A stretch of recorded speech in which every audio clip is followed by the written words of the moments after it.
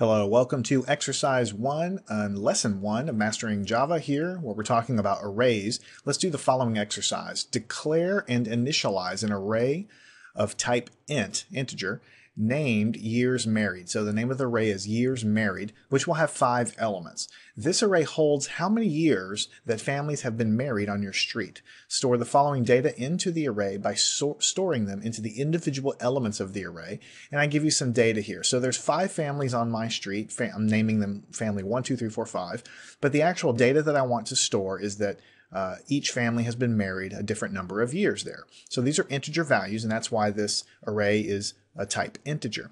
Then we're going to print this data to the screen by accessing the elements uh, and using the print statement that we typically use. So what we need to do is create an array to hold this uh, integer data, and then we want to print uh, the information to the screen. So your program might look a little different than mine, but effectively inside of our uh, program here, we're going to first declare uh, and, and allocate memory for an array. So what we have over here on the left-hand side of the equal sign is we're telling Java that we want an array uh, called years married, and we have uh, the double bracket there indicating it's an array. It's of type integer, so we expect it to hold data.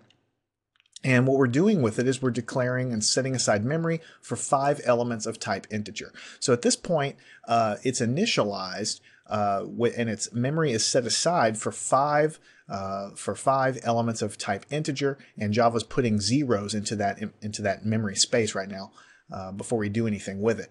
So what we want to do is put our data in it. So we access the elements years married, 0, 1, 2, 3, and 4.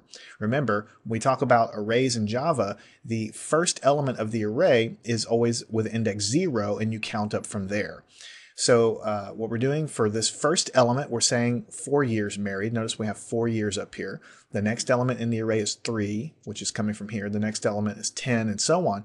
10, 12, and 6. Now notice how we have to start accessing elements with element 0. So just be a little careful because you might, on your paper, you might call the first element family 1, then family 2, then family 3.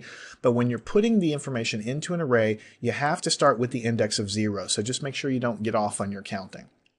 So what this is doing is putting this numerical data into our arrays uh, here, and then we want to print it out to the screen. So we have a bunch of print statements, system out, print line, family one has been married for, and then we're accessing this first element of the array. Notice it starts with a, a zero um, for this many years. Family two has been married for the next element number of years, and so on. So we're just, we've stored the information in, now we're printing it out. I put this little sentence here to make it clear what element we're dealing with, but you know, you may or may not have done that in your code. So let me go ahead and save that and run the program.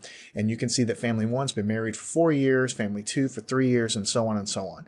So a very simple little example, but important for you to understand. First, we uh, declare the array, and we're now we're setting aside uh, memory for this array. We're setting aside five elements of type integer, and then here we store the information in the array, and then here we're accessing the elements in the print statement to print the information out. Your code might look slightly different, but this is what we're driving at. You want to understand how to declare arrays, how to store information in arrays, and then how to use them in print statements.